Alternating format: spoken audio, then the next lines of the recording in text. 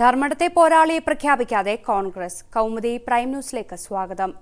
നാമനിർദ്ദേശ പത്രിക സമർപ്പിക്കാനുള്ള സമയം നാളെ അവസാനിക്കാനിരിക്കെ മുഖ്യമന്ത്രിക്കെതിരെ സ്ഥാനാർത്ഥിയെ പ്രഖ്യാപിക്കാനാകാതെ കോൺഗ്രസ് ഹൈക്കമാൻഡിന്റെയും കെ പി സി സിയുടെയും ശക്തമായ സമ്മർദ്ദമുണ്ടായിട്ടും ധർമ്മടത്ത് മത്സരിക്കാനില്ലെന്ന് കെ സുധാകരൻ പ്രഖ്യാപിച്ചു സുധാകരൻ നിർദ്ദേശിച്ച D C C general secretary C Raghunath ധർമ്മടത്ത് നാമനിർദ്ദേശ പത്രിക നൽകി പിണറായിക്കെതിരെ ശക്തനെ കണ്ടെത്താനാകാതെ കുഴയുകയാണ് കോൺഗ്രസ് സുധാകരനെ മത്സരിപ്പിക്കാൻ കഴിഞ്ഞ രണ്ട് ദിവസമായി ശ്രമമുണ്ട് ഇന്നലെ രാത്രി വൈകിയും രാവിലെയും കെ പി സി സി നേതൃത്വത്തിൽ നിന്നും ഹൈക്കമാൻഡിൽ നിന്നും സുധാകരനുമേൽ സമ്മർദ്ദം ശക്തമായി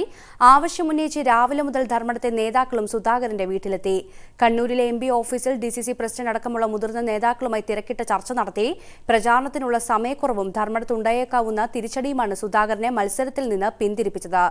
ഇതിനിടെ ഹൈക്കമാൻഡിന്റെ ഔദ്യോഗിക പ്രഖ്യാപനം വരും മുമ്പേ സി രഘുനാഥ് വരണാധികാരി മുമ്പാകെ നാമനിർദ്ദേശ പത്രികയും നൽകി ക്രമക്കേടിലെ സത്യം തേടി വോട്ടർ പട്ടികയിലെ ക്രമക്കേട് സംബന്ധിച്ച ഒൻപത് ജില്ലകളിലെ പത്ത് നിയമസഭാ മണ്ഡലങ്ങളിലെ വിവരങ്ങൾ കൂടി പ്രതിപക്ഷ നേതാവ് രമേശ് ചെന്നിത്തല തെരഞ്ഞെടുപ്പ് കമ്മീഷന് കൈമാറി കഴിഞ്ഞ ദിവസം അഞ്ച് മണ്ഡലങ്ങളിലെ വിവരങ്ങൾ കൈമാറിയിരുന്നു ഇതോടെ സംസ്ഥാനത്തെ എല്ലാ ജില്ലകളിലും വോട്ടർ പട്ടികയിൽ വൻതോതിൽ ഇരട്ടിപ്പും ക്രമക്കേടും കണ്ടെത്തിയിരിക്കുകയാണെന്ന് അദ്ദേഹം പ്രസ്താവനയിൽ അവകാശപ്പെട്ടു കഴിഞ്ഞ ദിവസം കാസർകോട്ടെ ഉദുമേൽ കുമാരി എന്ന വോട്ടറുടെ കാര്യത്തിൽ വെളിവാക്കപ്പെട്ടതുപോലെ വോട്ടർ പട്ടികയിൽ തങ്ങളുടെ പേര് പലതവണ ആവർത്തിക്കപ്പെടുകയും തങ്ങളുടെ പേരിൽ കൂടുതൽ വോട്ടർ ഐഡന്റിറ്റി കാർഡുകൾ വിതരണം വിതരണം ചെയ്യപ്പെടുകയും ചെയ്ത കാര്യം ഈ വോട്ടർമാർ അറിയണമെന്നില്ല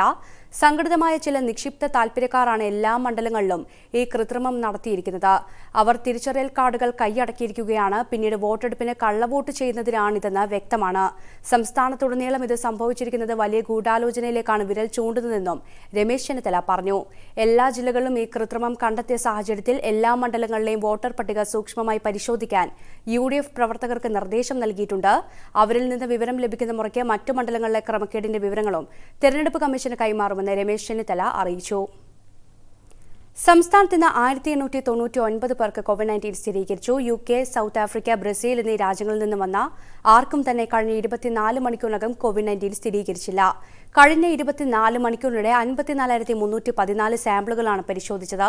ടെസ്റ്റ് പോസിറ്റിവിറ്റി നിരക്ക് മൂന്ന് ദശാംശം അഞ്ച് ശതമാനമാണ് കഴിഞ്ഞ ദിവസങ്ങളിലുണ്ടായ പതിനഞ്ച് മരണങ്ങളാണ് കോവിഡ് നയൻറ്റീൻ മൂലമാണെന്ന് ഇന്ന് സ്ഥിരീകരിച്ചത്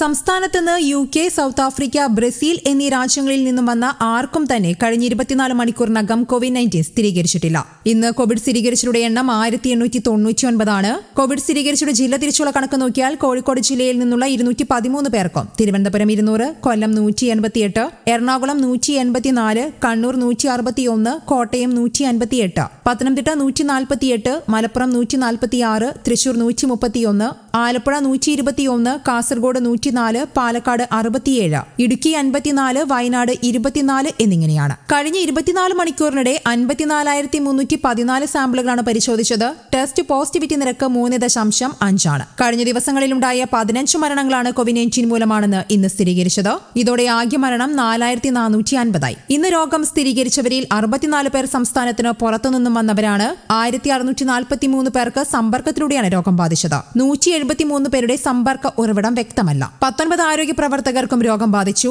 രോഗം സ്ഥിരീകരിച്ച് ചികിത്സയിലായിരുന്ന രണ്ടായിരത്തി ഒരുന്നൂറ്റി പത്തൊൻപത് പേരുടെ പരിശോധനാ ഫലം നെഗറ്റീവായി ഇതോടെ ഇരുപത്തി അയ്യായിരത്തി ഒരുന്നൂറ്റി അൻപത്തിയെട്ട് പേരാണ് രോഗം സ്ഥിരീകരിച്ച് ഇനി ചികിത്സയിലുള്ളത് സംസ്ഥാനത്തെ വിവിധ ജില്ലകളിലായി ഒരു ലക്ഷത്തി മുപ്പത്തി ഒന്നായിരത്തി തൊള്ളായിരത്തി ഇരുപത്തിനാല് പേരാണ് നിരീക്ഷണത്തിലുള്ളത് നാനൂറ്റി അൻപത്തി ഒൻപത് പേരെയാണ് ഇന്ന് ആശുപത്രിയിൽ പ്രവേശിപ്പിച്ചത് ഇന്ന് പുതിയ ഹോട്ട്സ്പോട്ട് ഇല്ല രണ്ട് പ്രദേശത്തെ ഹോട്ട്സ്പോട്ടിൽ നിന്നും ഒഴിവാക്കിയിട്ടുണ്ട് നിലവിലാകെ മുന്നൂറ്റി അൻപത്തി മൂന്ന് ഹോട്ട്സ്പോട്ടുകളാണുള്ളത് news desk Kerala Kaumudi Covid വ്യാപനം അതിരൂക്ഷം രാജ്യത്ത് കോവിഡ് കേസുകൾ ക്രമാതീതമായി വർദ്ധിക്കുന്നു കഴിഞ്ഞ ഇരുപത്തിനാല് മണിക്കൂറിനിടെ മുപ്പത്തി അയ്യായിരത്തി എണ്ണൂറ്റി എഴുപത്തി ഒന്ന് പേർക്കാണ് കോവിഡ് സ്ഥിരീകരിച്ചത്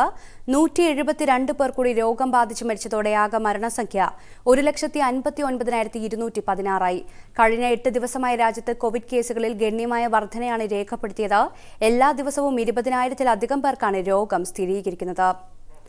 കൗമുദി പ്രൈം ന്യൂസ് സമാപിക്കുന്നു നമസ്കാരം